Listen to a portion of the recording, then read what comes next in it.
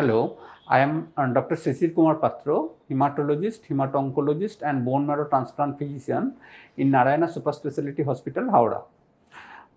I am dealing with uh, hematological disease, hematological both benign and malignant disease and also immunodeficiency disorder uh, in uh, hematological profile.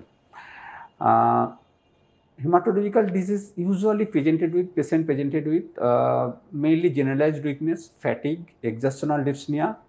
Some patient can be present with uh, recurrent fever, throat pain, mucositis, reddish discoloration of the skin, uh, reddish discoloration of the um, oral mucosa, and there is a, uh, some kind of rashes in the body. Sometimes patient can be present with uh, um, can be present with uh, rectal bleeding some patient can present with uh, um, reddish color of reddish discoloration of the urine. And uh, in uh, in case of women uh, patient can be presented with uh, uh, increased periodic bleeding.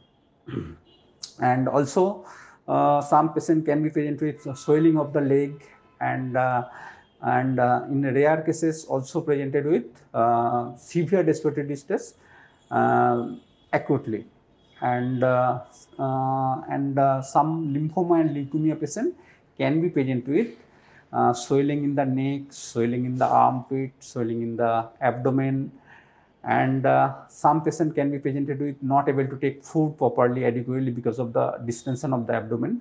So if these symptoms are present with incidentally some patient present uh, like decreased hemoglobin percentage, increased WBC count, decreased platelet, so if these things are present uh, in your uh, uh, routine checkup, you also uh, you should contact with one hematologist.